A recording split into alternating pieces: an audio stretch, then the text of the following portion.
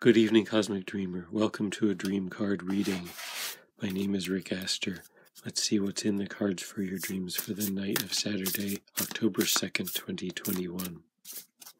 Tune in, drop into your dreaming body, connect to the intelligence of the universe.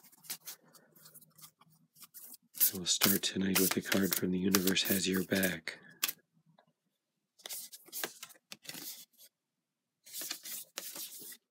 This card says attack, pain, fear, judgment, and any form of separation are merely calls for help. So these are things that feel unpleasant. They represent the need for help. There's someone who can't do something on their own, can't solve a problem. I'll get a card from the Light Seers Tarot. Dreams can also be calls for help if they're unpleasant. A call for attention to something.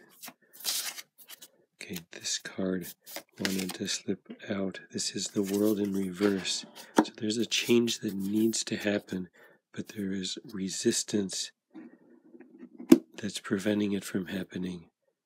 That's why help is needed. Help to allow this change to come forward. In a dream, you could be coming upon obstacles, locked doors, closed roads, things like that. You complain about them, and the way you're complaining about them, you catch yourself doing that, that's your sign that there is some change trying to come through that may need a little push from you.